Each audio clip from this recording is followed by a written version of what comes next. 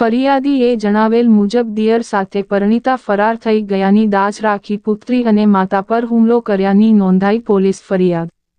આ હુમલામાં ફરિયાદી વૃદ્ધાના દાગીના પડી ગયાનો ફરિયાદમાં ઉલ્લેખ. મહુવા તાલુકાના અને દાટા પોલીસ મથક નીચે આવતા નાની જાગધાર ગામના માતા પુત્રી પર હુમલો કરતા વૃદ્ધાને ગંભીર ઈજાઓ થતા હોસ્પિટલ ખસેડાયેલ.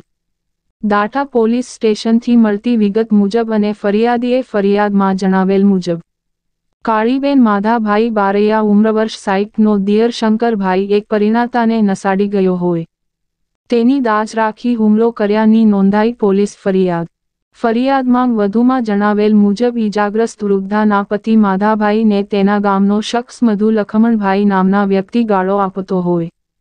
તેથી કાળીબેન, વૃદ્ધાની પુત્રી રેખાબેન અને તેના પુત્રો ભાવેશ, રાજુ સહિત આ શખ્સના મામાને ઘરે સમજાવવા ગયા હતા.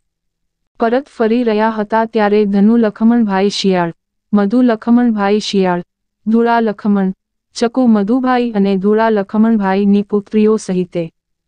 ફરિયાદી કાળીબેનને સૌ પ્રથમ ઢસડી બોલાચાલી કરી હથિયારો વડે હુમલો કર્યો હતો.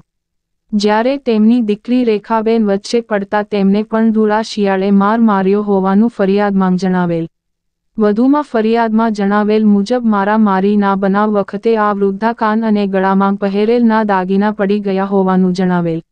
નાની જાગધાર ગામના વૃદ્ધા કાળીબેન બારૈયાએ આજે દાટા પોલીસ સ્ટેશનમાં ફરિયાદ દાખલ કરાવતા દાટા પોલીસે વધુ તપાસ હાથ ધરેલ.